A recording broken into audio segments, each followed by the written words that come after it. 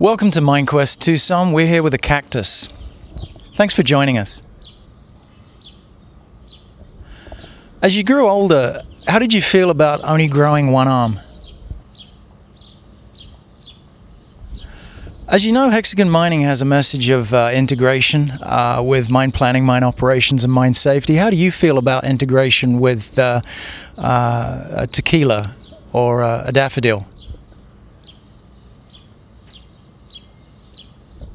Doesn't look like we're going to get much from the cactus, obviously a prickly customer.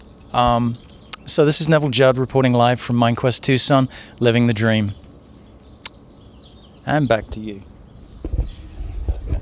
I've had worse interviews.